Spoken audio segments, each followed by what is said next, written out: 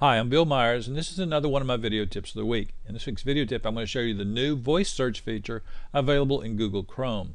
Now, what you're seeing on the screen is Google. I'm sure you've seen this uh, thousands of times before. But if you visit Google with the Chrome browser, you're now going to see a little microphone right here. And what that microphone does, it allows you to do a voice search. So if I uh, click that microphone and enter a word, it's going to search it for me. Let's give it a try. Winnebago View. And you can see that it gave me a lot of results for Winnebago View. Now Winnebago View is, is a difficult word to say, but the Google search results found it. Let's try another difficult word. And again, what I'll do is I'll move my mouse on top of the microphone and click it, then say the word. HTC Incredible. And then there's the results. Works out pretty good. Now let's try it one more time. This time we're going to search for my name. Let's try it again. Bill Myers.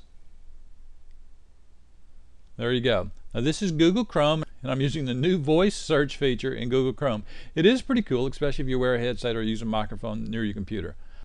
I'm Bill Myers. This has been another one of my video tips. You can find more like this by going to www.bmyersonline or using Google Chrome and going to Google and clicking the microphone and saying Bill Myers Online. When you do that, you'll find a link like this that says Bill Myers Online. Click the link and it'll go directly to my site.